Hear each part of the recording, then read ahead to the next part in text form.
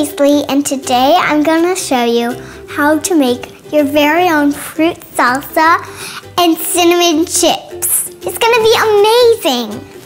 And it's also great for this time of year. Okay, so let's get started. First we're going to make the fruit salsa. So we'll need one apple chopped in small pieces, like this. And if you have spoons, that will be good. You might need them.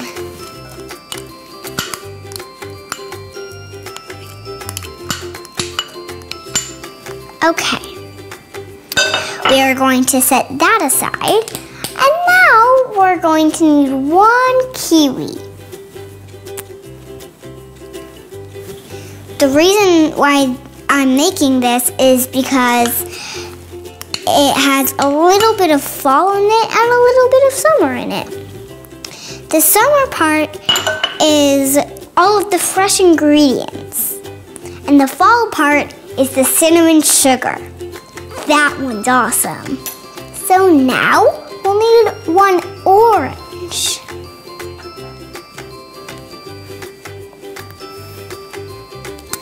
This is going to be so much fun. Okay, and now we'll need a half cup of raspberries.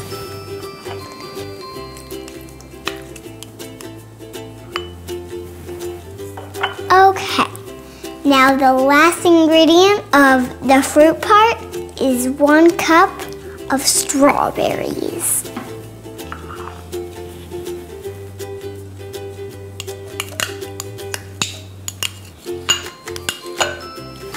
Let's put that there. For our dry ingredients, we'll need one tablespoon of white sugar or granulated sugar.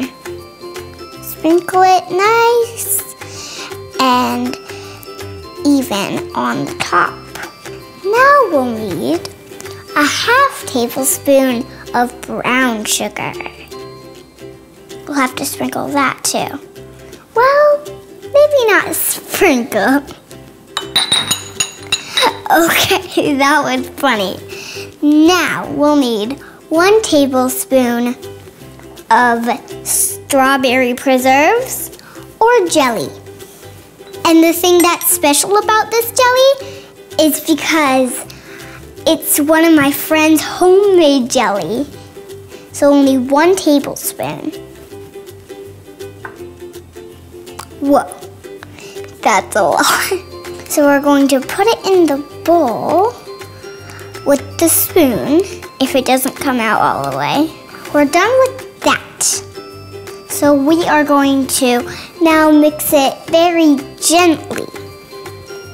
So we don't like, so we don't mush all the fruits.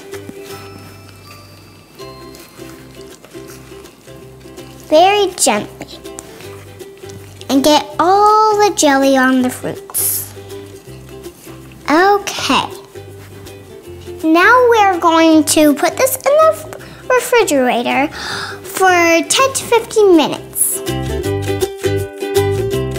So while our fruit salsa is in the fridge, we are going to preheat the oven to 350 and spray four 6 inch tortillas with cooking spray.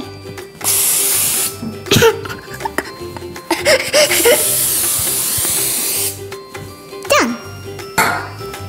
That was a little bit hard for a six-year-old if you can't squeeze that hard. Now this is the yummy part. We're going to sprinkle our tortillas with cinnamon sugar. okay. And it's really easy making cinnamon sugar. All you have to do is do a few cups of sugar and a few teaspoons of cinnamon. Really easy. So here comes the cinnamon sugar. Do it as evenly as light and lightly as you can. Ask an adult to help you. It's gonna be a little bit hard.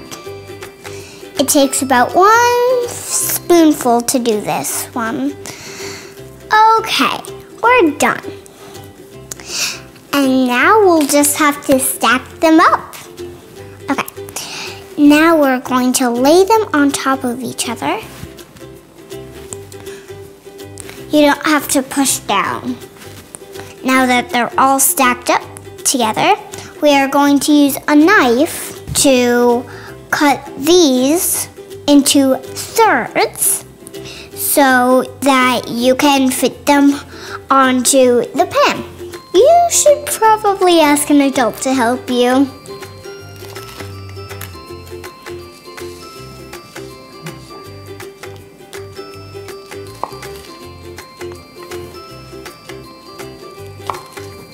Now that we have cut them, we are going to put them on the pan and bake them for 8 to 10 minutes. You'll have to do them kind of like in a pattern because if you want more to fit, you'll have to do it like this.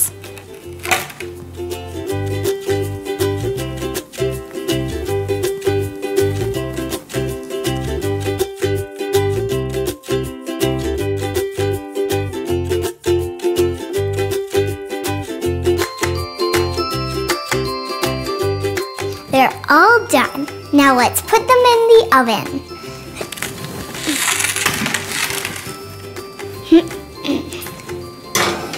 Oopsie.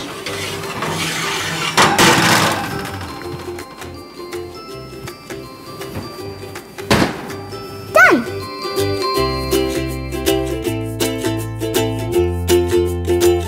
And now it's time for the taste test. This salsa looks so good.